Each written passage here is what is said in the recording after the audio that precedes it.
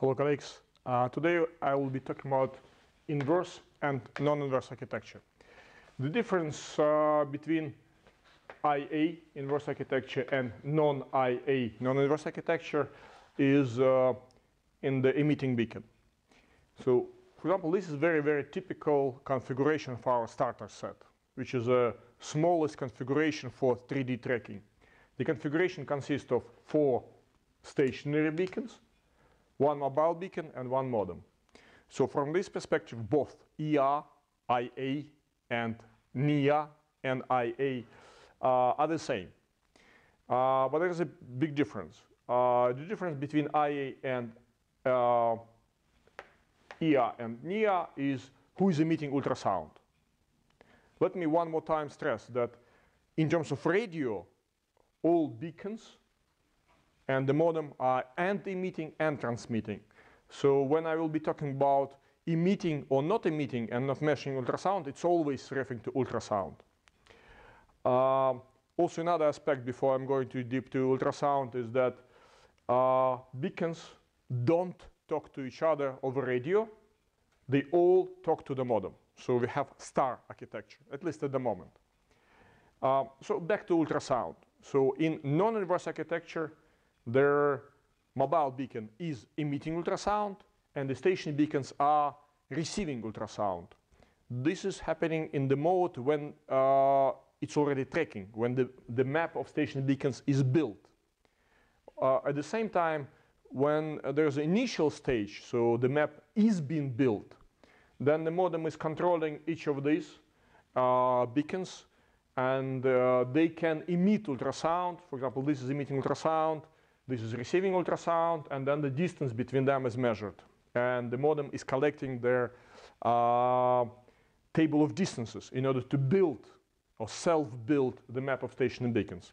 So it means that even in non-inverse architecture, the station beacons may emit ultrasound if you are using, for example, beacons hardware version 4.9 or super beacons. At the same time, you could use uh, mini RXs like this one. So mini RX cannot emit ultrasound. So in this case, for non-inverse architecture, you would need to uh, provide uh, distances between the station beacons manually or provide location of the station beacons manually. Uh, because this is RX only, so only receiving, not able to transmit anything. Uh, but it's smaller uh, and let's say as versatile, uh, as uh, let's say sensitive in terms of ultrasound as super beacons, but slightly less expensive. So back to non-inverse versus inverse. So in uh, non-inverse architecture, this is emitting ultrasound and station beacons are receiving ultrasound. They all work at the same frequency. So usually 31 kilohertz. Uh, at the same time, in inverse architecture, which I would say around 10 times more complex in terms of internal structure, uh, stationary beacons are emitting ultrasound and the mobile beacon is receiving. And from this is coming the greatest benefit of inverse architecture because you can, you can have many receiving beacons, many mobile beacons without location update rate reduction. It's like in real GPS. In your GPS, satellites are emitting radio and your receiver is receiving radio pulses from all those beacons. And you may have millions of receiver uh, receiving beacons. The same in, in, in inverse architecture. You may have many uh, mobile beacons without location update rate reduction. In both cases, IA and NIA, so EI and NIA, we support 250 beacons. Beacons means combined, stationary and mobile, in both cases. But the difference uh, between inverse architecture and non-inverse architecture particularly is in location update rate.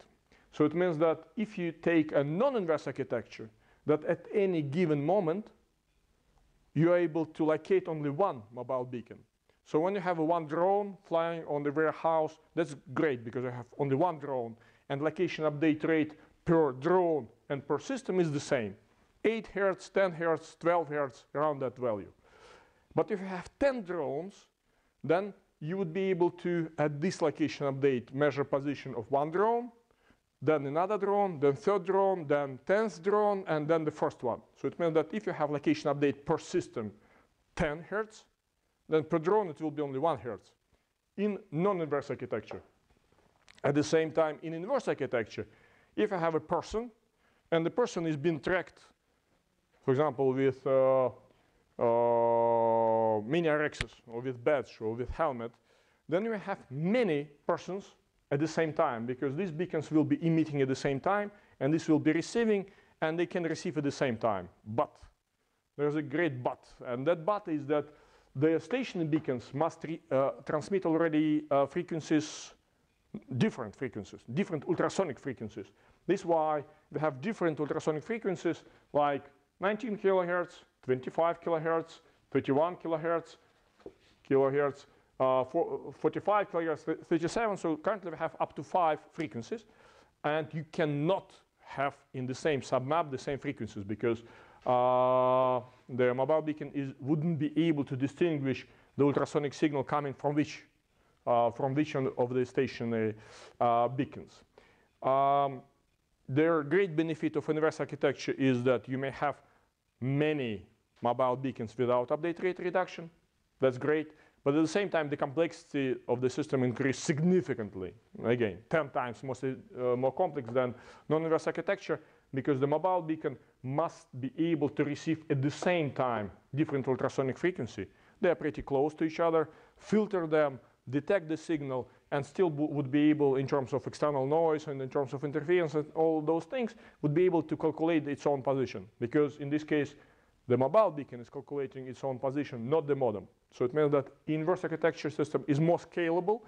Uh, and uh, again, update rate reduction uh, is slow or no at all uh, when you increase the number of mobile beacons. What is the drawback of the inverse architecture? Since the mobile beacon is receiving ultrasound, you cannot place the mobile beacon on something noisy, like a drone. Uh, because the drone is emitting ultrasound, or let's say sound in very white, uh, nearly white type uh, noise, uh, which is going from audible to ultrasound range as well. And uh, it would be simply blocking the reception of ultrasound from stationary beacons. So it means that instead of 30 meters, the maximum distance would be reduced to 20, to 10, in case of very noisy drone, it could be reduced up to five meters, for example. So we do not recommend to, inverse, uh, to use inverse architecture in case of drone or any kind of noisy mobile object. And we always recommend to use it when you have multiple mobile objects, like people tracking, for example, or multiple robots or multiple forklifts, many, means more than five, ten, those kind of things, and update rate uh, uh, is, is important. So if, if, if you're okay with update rate 1 per 10 seconds, then non, sorry, then non-inverse architecture is good enough as well. But if you need, for example, 10 hertz update rate per mobile beacon, then in this case, inverse architecture is your solution.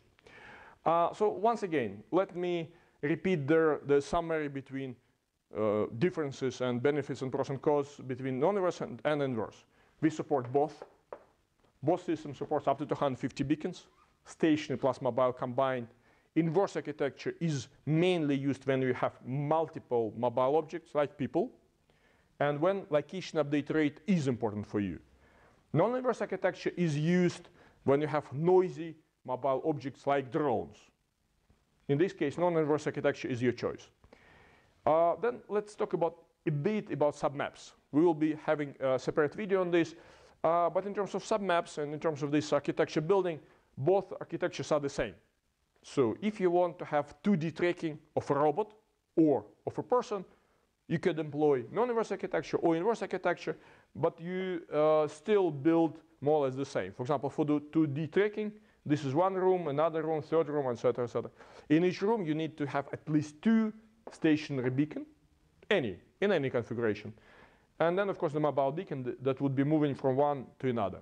The difference eh, in terms of submaps is a complexity, because when you, you build non-inverse architecture, each of these beacon is working the same frequency. Our default fre fre frequency is 31 kilohertz. But if you have uh, inverse architecture, you cannot have the same frequency. So it means that uh, the network planning is a bit more complex. We will be describing it more and teaching a bit more, uh, but overall logic is the same. So for example, you have one room, you have 19 and 25. In this room, you must also have different frequencies, but you cannot use the same 1925. You must use 31 and 37, for example, because otherwise, when there will be handover between submap 4, 5 and submap 4, uh, the system would, you know, wouldn't be able to do the handover because the frequencies are the same. So the neighboring submaps cannot have the same ultrasonic frequencies.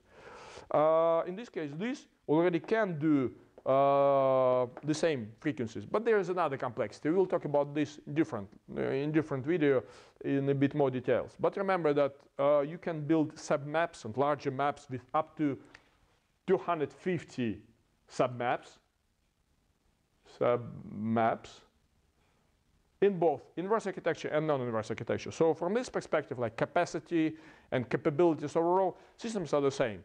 But there's a fundamental difference in terms of ultrasonic working.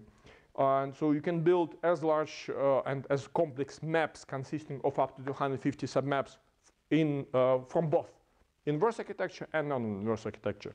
As usually, if you have additional questions, please ask. Uh, send us an email to info at and we will be happy to help. Thank you.